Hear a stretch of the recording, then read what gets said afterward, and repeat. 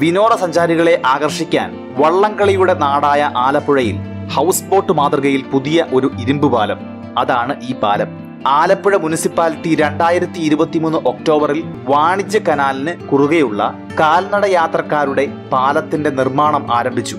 House ബോട്ടിന്റെ മാതൃകയിലുള്ള നടപ്പാലം നിലവിലെ തുരുമ്പിച്ചിരിക്കുന്ന ആ പാലം ഉണ്ടല്ലോ. ആ പാലത്തിന് ഒരു എട്ട് പത്ത് മീറ്റർ കിഴക്കാണ് നിർമ്മിച്ചിരിക്കുന്നത് കാൽനട മേൽപ്പാലത്തിന്റെ മധ്യത്തിൽ ഒരു സെൽഫി പോയിന്റ് ഉണ്ട് പുതിയ ഈ നടപ്പാലത്തിലൂടെ കനാൽ കാഴ്ചകൾ ആസ്വദിക്കുന്നതിനൊപ്പം അടിപൊളി സെൽഫിയും എടുക്കാം. രാത്രി കാഴ്ചകൾക്ക് മികവേകാൻ മിന്നിത്തിളങ്ങുന്ന ലൈറ്റുകളുമുണ്ട്. ആളുകൾക്ക് അല്പം നേരം തങ്ങാനുള്ള സ്ഥലവും ക്രമീകരിച്ചിട്ടുണ്ട്. ഇവിടെ നിന്ന് നഗര ദൃശ്യങ്ങളുടെയും സൂര്യാസ്തമയവും ഒക്കെ ഭംഗിയായിട്ട് കാണാനാകും. നഗരസഭ എഞ്ചിനീയറിംഗ് വിഭാഗം ആർക്കിടെക്റ്റുകളുടെ സഹകരണത്തോടെയാണ് പുതിയ ഇരുമ്പ് പാലത്തിൽ ടൂറിസ്റ്റുകളെ ആകർഷിക്കുന്ന രീതിയിൽ വ്യത്യസ്ത നടപ്പാല നിർമ്മിച്ചത്.